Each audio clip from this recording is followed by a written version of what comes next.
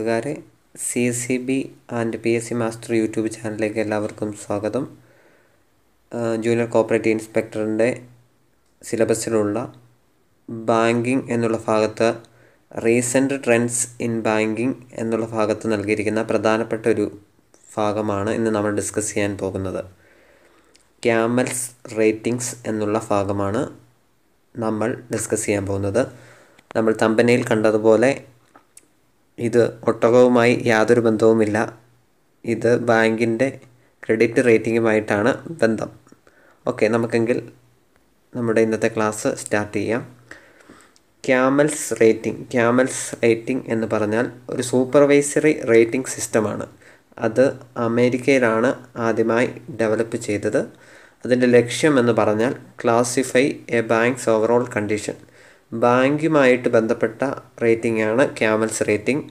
അതുപോലെ ബാങ്കുകളുടെ ഓവറോൾ കണ്ടീഷൻസിനെ ക്ലാസിഫൈ ചെയ്യുക റേറ്റ് ചെയ്യുക എന്നുള്ള ലക്ഷ്യത്തോടു കൂടി അമേരിക്കയിൽ ഡെവലപ്പ് ചെയ്ത സൂപ്പർവൈസറി റേറ്റിംഗ് സിസ്റ്റത്തിന് പറയുന്ന പേരാണ് ക്യാമൽസ് റേറ്റിംഗ് അതുപോലെ ഈ CAMELS rating applied applied to every bank and credit union in the U S U എസിലുള്ള എല്ലാ ബാങ്കുകൾക്കും അതുപോലെ എല്ലാ ക്രെഡിറ്റ് യൂണിയനും ഈ ക്യാമൽസ് റേറ്റിംഗ് നിർബന്ധമാണ്.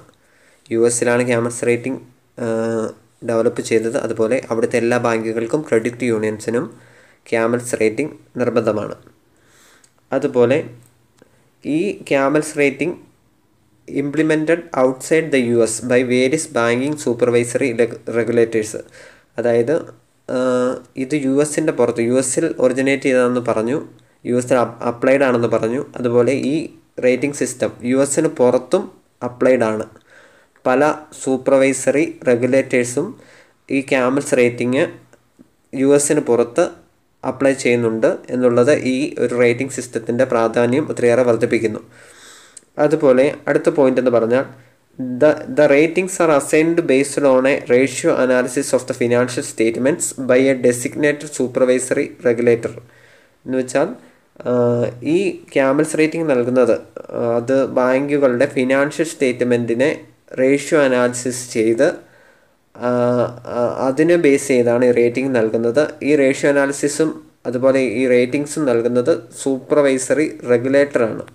ഓരോ അപ്ലൈ ചെയ്യുന്ന രാജ്യങ്ങൾക്കനുസരിച്ച് ഈ സൂപ്പർവൈസറി റെഗുലേറ്റേഴ്സിനും വ്യത്യാസം വരും. നമ്മളിനി കാണാൻ പോകുന്നത് അമേരിക്കയിലെ ഈ സൂപ്പർവൈസറി റെഗുലേറ്റേഴ്സ് ആരൊക്കെയാണെന്ന് ആണുള്ളത് എന്നുള്ളതാണ് നമ്മളിനി കാണാൻ പോകുന്നത്. അതുപോലെ യു എസിലെ ഇത് സൂപ്പർവൈസറി റെഗുലേറ്റേഴ്സ് ആണ് ഒന്ന്. ഫസ്റ്റ് ഫെഡറൽ റിസർവ് അവിടുത്തെ സെൻട്രൽ ബാങ്കായ ഫെഡറൽ റിസർവ് ആണ് ഒന്നാമത്തെ സൂപ്പർവൈസറി റെഗുലേറ്റേഴ്സ് ക്യാമൽ ക്യാമൽസ് റേറ്റിംഗിൽ അമേരിക്കയിലെ സൂപ്പർവൈസറി റെഗുലേറ്റേഴ്സ് ആണ് ഫെഡറൽ റിസർവ് അതുപോലെ രണ്ടാമത്തെ അവിടുത്തെ supervisory റെഗുലേറ്ററാണ് the Office of the Controller of the Currency Office of the Controller of the Currency അതുപോലെ മൂന്നാമത്തെ the National Credit Union Administration അതുപോലെ നാലാമതായിട്ട് and the Federal Deposit Insurance Corporation the Federal Deposit Insurance Corporation തുടങ്ങി നാല് ഏജൻസികളാണ് U എസിലെ ഈ supervisory regulators CAMELS rating supervisory regulators ആണ്. Federal Reserve the Office of the Controller of the Currency the National Credit Union Administration and the Federal Deposit Insurance Corporation എന്നിവരാണ് അമേരിക്കയിലെ camel's റേറ്റിംഗിന്റെ supervisory regulators അടുത്തതാണ് നമ്മൾ camel's rating എന്ന് ആദ്യം തന്നെ discuss ചെയ്തായിരുന്നു. എന്താണ് ഈ ക്യാമൽസ് റേറ്റിംഗ് അതാണ് നമ്മൾ ഇനി ഡിസ്കസ് ചെയ്യാൻ പോകുന്നത്. ക്യാമൽസ് റേറ്റിംഗ് എന്ന് പറഞ്ഞാൽ ഒരു ഒരു റേറ്റിംഗിന്റെ ഷോർട്ട് ഫോമാണ് ഈ ക്യാമൽസ് എന്ന് സൂചിപ്പിച്ച് സൂചിപ്പിച്ചിരിക്കുന്നത്. C A M E L S അതാണ് ക്യാമൽസ് ഇനി എന്താണ് ഈ ക്യാമൽസ് എന്ന് നമുക്കൊന്ന് ഡിസ്കസ് ചെയ്യാം. ഈ ക്യാമൽസ് റേറ്റിംഗ് ഏകദേശം ആറ് കാര്യങ്ങളെ ബേസ് ചെയ്തിട്ടാണ് ഈ ക്യാമൽസ് റേറ്റിങ്ങിന് റേറ്റിംഗ് നൽകുന്നത്. അതിൽ ഒന്നാമത്തെ കാര്യമാണ് ക്യാപിറ്റൽ ആഡിക്വസി ക്യാപിറ്റൽ ആഡിക്വസിയാണ് ഒന്നാമത്തെ റേറ്റിങ്ങിന്റെ മാനദണ്ഡം. അത് സി. അതുപോലെ അസറ്റ്സ് രണ്ടാമത്തെ മാനദണ്ഡം എ. അതുപോലെ മൂന്നാമത്തെ മാന മാനദണ്ഡമാണ് മാനേജ്മെന്റ് കേപ്പബിലിറ്റി. മൂന്നാമത്തെ മാനദണ്ഡമാണ് മാനേജ്മെന്റ് കേപ്പബിലിറ്റി. അതുപോലെ നാലാമത്തെ മാനദണ്ഡം എന്ന് പറഞ്ഞാൽ ഏണിങ്സ് ആണ്. ഏണിങ്സ് ആണ് നാലാമത്തെ മാനദണ്ഡം. അതുപോലെ അഞ്ചാമത്തെ മാനദണ്ഡമാണ് liquidity also called asset liability management asset liability management എന്നറിയപ്പെടുന്ന ലിക്വിഡിറ്റിയാണ് അഞ്ചാമത്തെ മാനദണ്ഡം.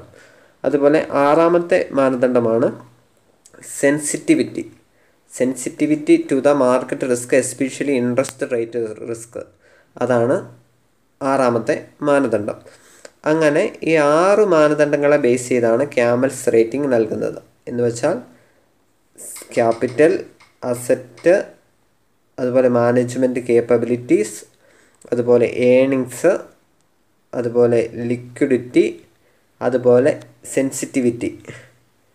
ഈ ഇത്രയും കാര്യങ്ങൾ ഈ ആറ് കാര്യങ്ങളെ ബേസ് ചെയ്തിട്ടാണ് ക്യാമൽസ് റേറ്റിംഗ് നൽകുന്നത്. മറക്കാതെ പഠിച്ചിരിക്കേണ്ടതാണ്. ചിലപ്പോൾ ഇതിന്റെ ക്യാമൽസിലെ എം എന്തിനെ സൂചിപ്പിക്കുന്നു? അല്ലെങ്കിൽ ക്യാമൽസിലെ ഇ എന്തിനെ സൂചിപ്പിക്കുന്നു? തുടങ്ങിയ ക്വസ്റ്റ്യൻസ് ചിലപ്പം ചോദിക്കാൻ സാധ്യതയുണ്ട്. അതുപോലെ ഇത് എവിടെയാണ് ഒറിജിനേറ്റ് ചെയ്തത്?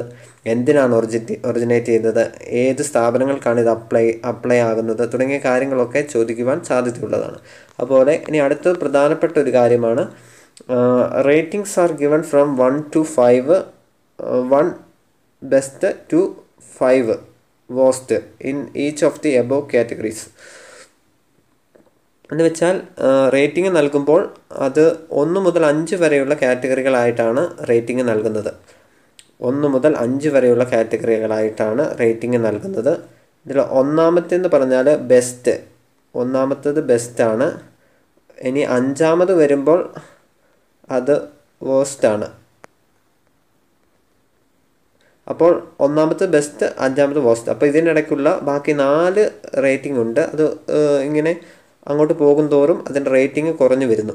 അപ്പോൾ ഈ ഒന്നാമത്തെ റേറ്റിംഗ് എന്ന് പറഞ്ഞാൽ ബാങ്ക് നല്ല കണ്ടീഷൻസിലാണ് എന്നർത്ഥം. അഞ്ചാമത്തെ റേറ്റിംഗ് വരുമ്പോൾ ബാങ്കിൽ വേണ്ടത്ര റെഗുലേറ്ററി സൂപ്പർവിഷൻ എപ്പോഴും ആവശ്യമാണെന്നുള്ള ഒരു പരിഗണന കൊടുത്ത് ബാങ്കുകളെ എപ്പോഴും നിരീക്ഷിച്ചു കൊണ്ടിരിക്കുന്ന ഒരവസ്ഥ അഞ്ചാമത്തെ റേറ്റിങ്ങിന് ലഭിക്കുന്നു. അങ്ങനെ ഈ അഞ്ച് റേറ്റിങ്ങും ഓരോ ബാങ്കുകളെ സംബന്ധിച്ച് വളരെ പ്രധാനപ്പെട്ടതാണ്. ക്യാമൽസ് റേറ്റിംഗ് ബാങ്കുകളുടെ റേറ്റിങ്ങിൽ വളരെ പ്രധാനപ്പെട്ട ഒരു കാര്യമാണ്. അതുപോലെ വരുവാനിരിക്കുന്ന കോപ്പറേറ്റീവ് ഇൻസ്പെക്ടർ എക്സാമിന് ഈ ക്യാമൽസ് റേറ്റിംഗ് എന്താണെന്നും അതിന്റെ കാര്യങ്ങളൊക്കെ വളരെ ഡീറ്റെയിൽഡ് ആയിട്ട് അല്ലെങ്കിൽ ഒരു ക്വസ്റ്റ്യൻ എങ്കിലും നമുക്ക് പ്രതീക്ഷിക്കാവുന്നതാണ്.